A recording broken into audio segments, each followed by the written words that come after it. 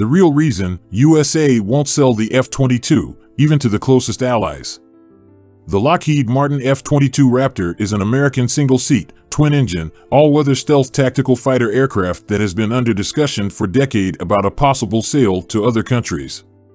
Those opposed to the export of the F-22 fear that the sensitive next-generation parts and technology of the Raptor could fall into enemy hands.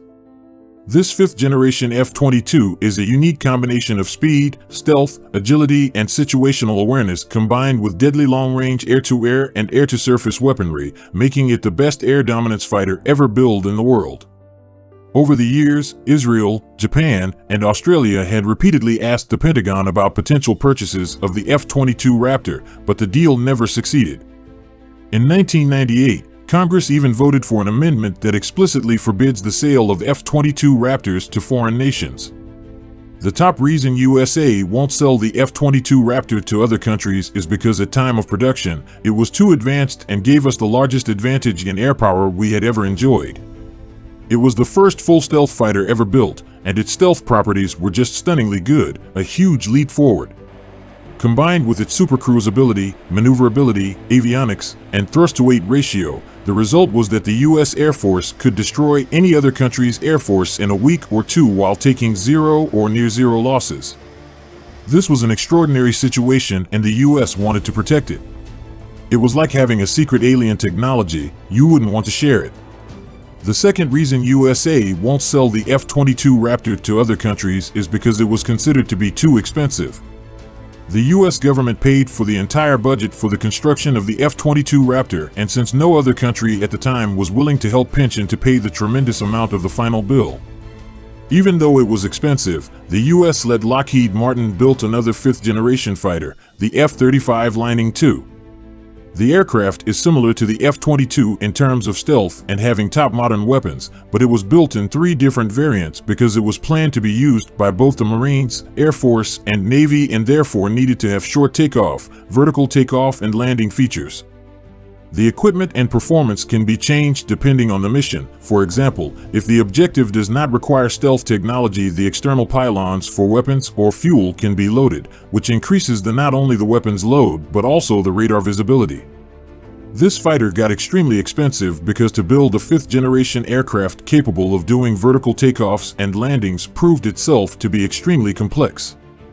The project has currently cost the U.S. taxpayers over $1 trillion and is by that the most expensive aircraft program ever. Another reason USA won't sell the F-22 Raptor to other countries is because it is suitable for many foreign countries. The F-22 cannot be matched by any known or projected fighter aircraft. The F-22 Raptor, a critical component of the Global Strike Task Force, is designed to project air dominance rapidly and at great distances and defeat threats attempting to deny access to our nation's Air Force, Army, Navy, and Marine Corps. Ultimately, the F-22 program was ended because it was very costly and the need for an air-to-air -air fighter to counter Soviet fighters just wasn't the U.S. military's priority any longer.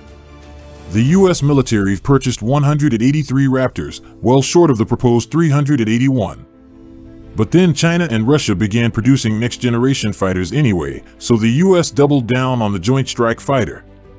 Then Lockheed Martin decided to consider an export model for the countries that were willing to obtain the aircraft. However, at the time, Congress enacted a law which prohibited approve or license the sale of the F-22 Advanced Tactical Fighter to any foreign government. The Air Force and Secretary Cohen do have some arguments on their side. Control of the air has been a prerequisite to military victory in most wars of the last 60 years, and the F-22 boasts speed, stealth, computer capabilities, and avionics more advanced than anything we have today, and anything the rest of the world will be able to build in the next couple of decades. Notably, enemy radars would have much more trouble picking up the F-22 than detecting current fighters. Given these attributes, the Raptor's high production price tag at $125 million per aircraft, according to the latest Congressional Budget Office estimate. The F-22 is expensive with $74 billion invested in the fighter during its lifetime.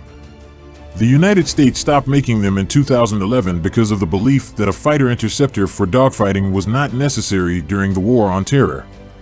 But operations in Afghanistan and Iraq are mainly over except for dealing with elements of ISIS, and that's more of a job for Special Operations Forces. But now, more airplanes adept at dogfighting may be necessary for potential great power conflict with Russia and China as well as rogue states like Iran and North Korea. Overall, it may be said that the main reason why USA won't sell the F-22 is because at time of production, it was too advanced. If you think there are any other reason, please let us know in the comment section below.